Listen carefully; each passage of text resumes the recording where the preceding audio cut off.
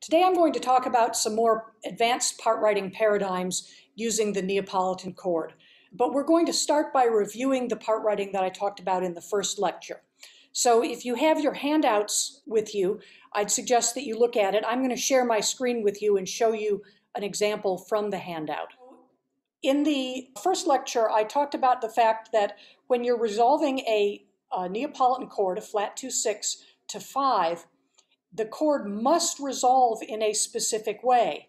Namely, the flat 2 chord has to go down to uh, scale degree 7, and the flat 6 scale degree needs to go down to scale degree 5. So we have Ra to Ti and Lay to Sol. Okay, let's take a look at what that looks like. Okay, the in this case, the flat 2 is B flat, it leaps down a diminished third to G sharp. The F is lay, and it moves down by half step to E. The fourth note, the, the D, which doubles the D in the bass, moves in contrary motion to the bass. Okay, and it's very important that you never go from the B flat to the B natural in the same voice. You want to have this this cross relation of the B flat and the B natural in two different voices, perhaps even separated by a diminished octave or double octave. Okay, if we were going to a 5 7 chord, it would still be true that Ra goes to Ti and Lay goes to Sol, but now we would hold Fa over and we'd go to an incomplete 5 7 chord. In order to have the 5 7 chord, we simply can't put the fifth in the chord because lay can't go to re and ra can't go to re, so we can't have a re at all. It simply has to be an incomplete 5-7 chord. Okay, so let me talk about this little sentence here that I just sort of slipped into the handout.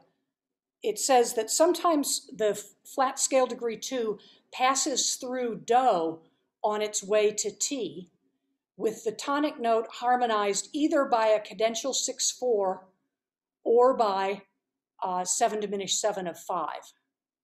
Okay, so take a look at these examples on the board. In every case, I've written the flat 2-6 with the flat 2 in the soprano. It doesn't have to be this way, it's just, it happens a lot because that's a very strong melodic note but we could put the B flat in an inner voice, but this is how the example on the handout had it. And then we're going to a five chord with Ti in the soprano, uh, and that happens in each of the other chord progressions as well. So here we have a passing scale degree one. We're filling in that diminished third with half step motion. So to go to the cadential 6-4 here, I see that I have a wrong note in the bass. I'll correct that. Lay goes to sol, and the may fills in the passing motion between fa and re. Um, notice here that I have parallel fourths, which are okay, but you must avoid parallel fifths. Okay, so if the B flat were below the F, and we went to the fifth AE, we would have parallel fifths. That's something for you to watch out for. The other chord that can be used as a passing chord to connect the, the flat 2-6 with the 5 is the 7 diminished 7 of 5. Okay, there we have the half step passing motion in the soprano, and we're also going to have it in the bass. Okay, so we have got B flat A, G sharp in the soprano, in the bass, we're going to have D, D sharp, E. Okay, let's think about what 7 diminished 7 of 5 is. Uh, a diminished seventh is going to be D sharp, F sharp, A, C. Okay, so lay is going to turn into la and then resolve down to sol. And here again, we'll have the passing motion, uh, fa, may, re, and the chordal seventh will resolve down as it has to. And sometimes you can have that passing note without any kind of accompaniment. you would be right to call this a passing tone. You would also be right to hear this as being some kind of a first inversion seventh chord with the B flat moving to the chordal seventh and then the seventh resolving down to down by step. Let me play these three progressions for you on the out of tune piano. Uh, we're in the key of A minor and I'm going to start by setting up the key.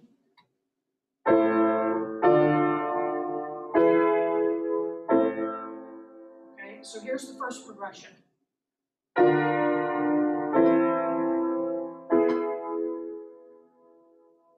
Here's the second one.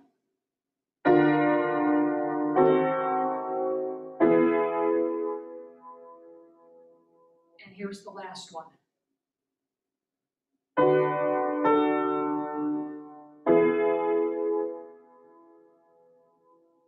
Course, we want to resolve.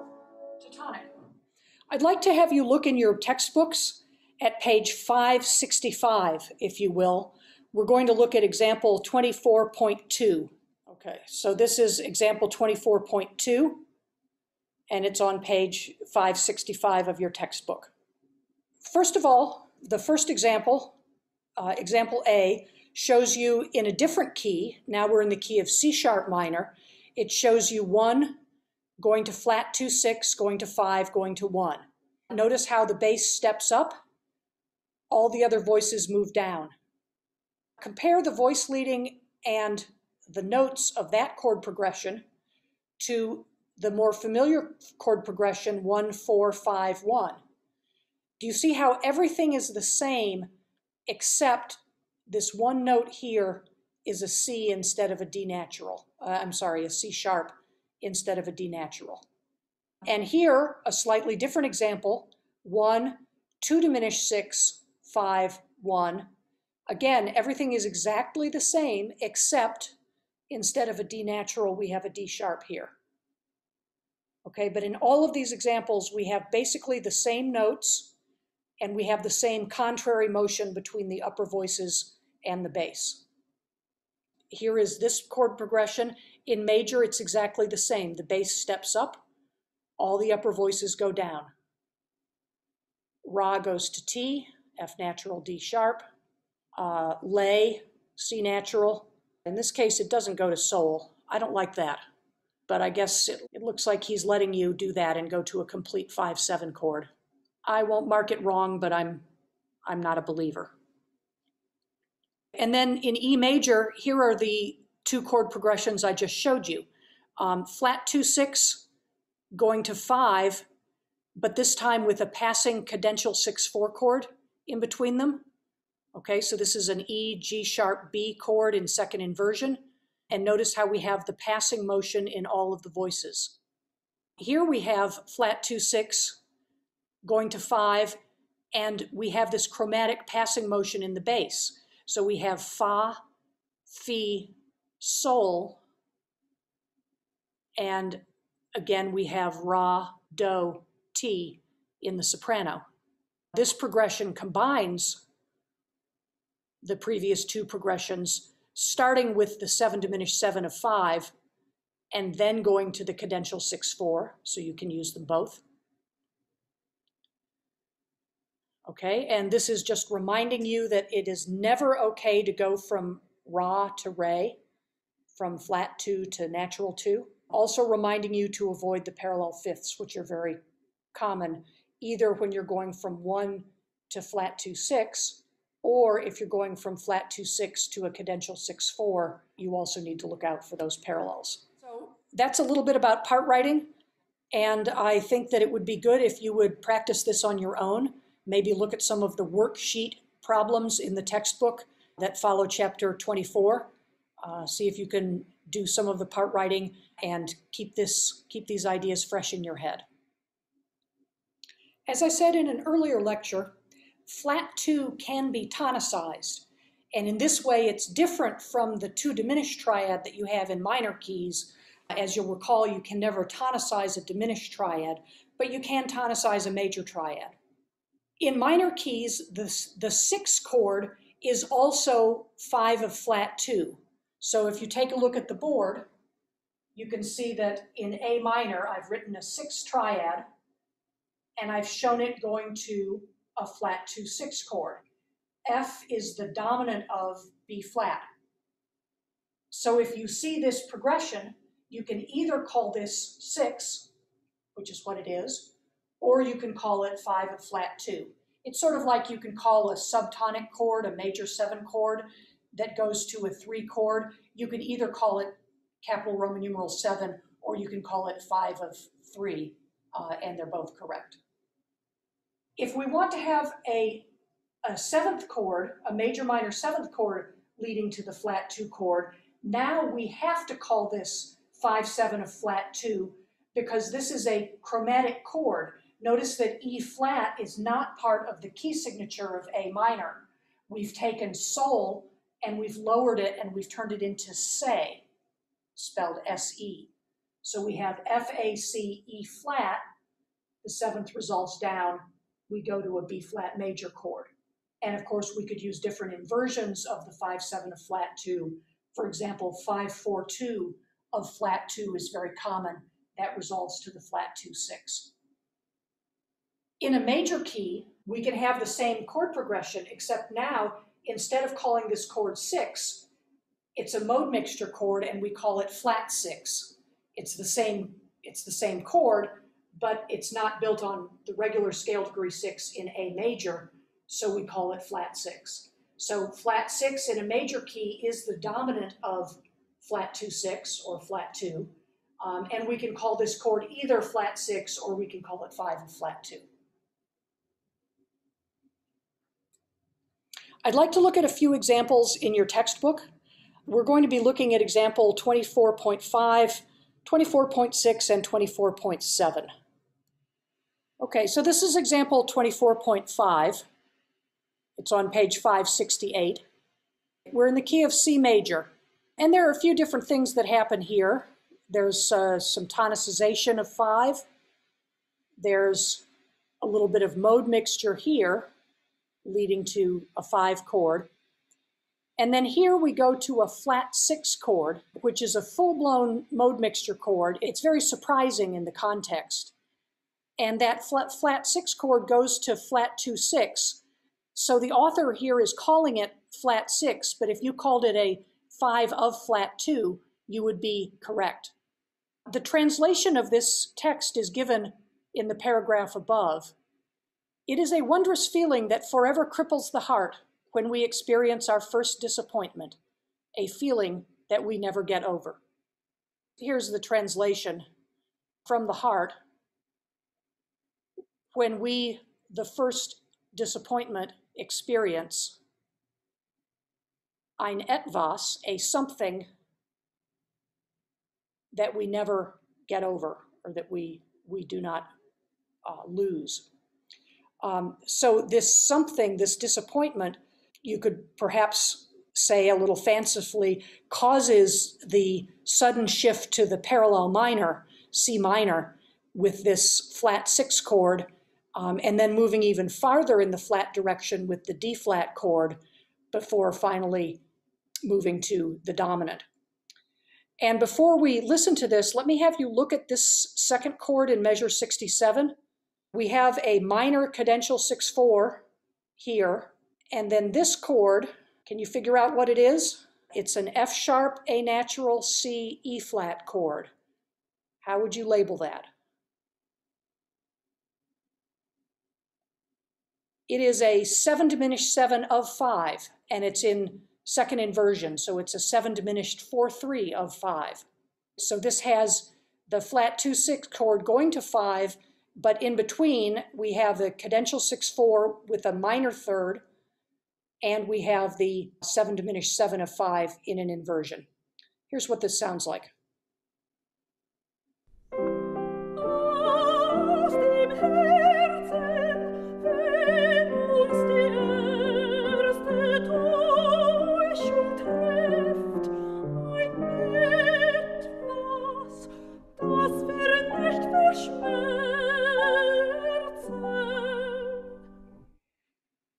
Let's look at another example.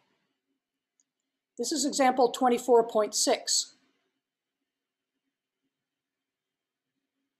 We're in the key of G minor, And that means that the flat two chord is an A flat major chord. So what we're going to hear is the flat two six tonicized by its dominant. And then later on, we're going to go to the flat two six chord again. And it will go to a cadential six four before going to five seven and going to one. Let's see, does it give us a translation? Uh, yes, the sun moves in its course, like yours, my sorrows deep in the heart, always to rise tomorrow. So, like yours, my sorrows deep in the heart, always the next morning rise again. Always the next morning rise again. So I think I think the chromatic sound of the flat 2-6 chord is very appropriate here for setting up a, a sense of deep feelings and perhaps deep sorrow. Let's listen to this example.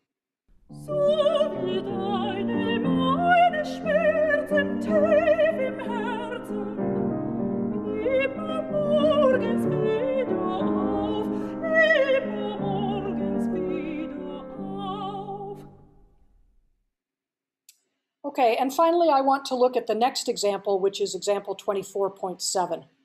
This is an example where the chromaticism of the Neapolitan chord creates a great sense of excitement along with the repeated notes and the tremolo in the left hand of the piano.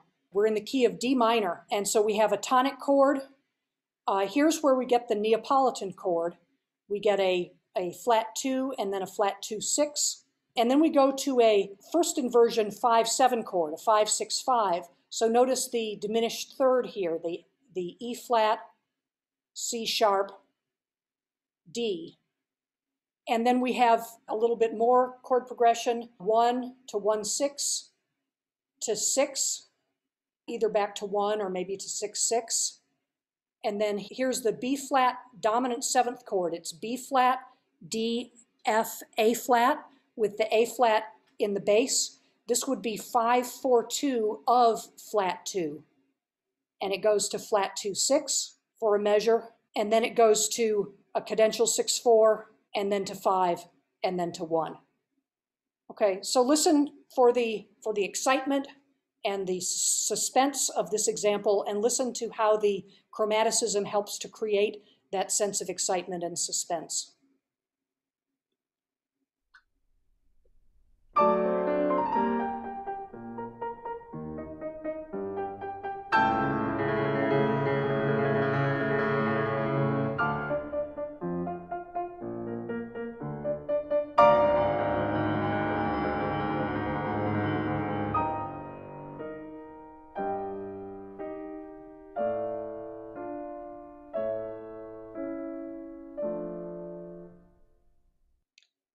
That, I've covered what's in chapter 24.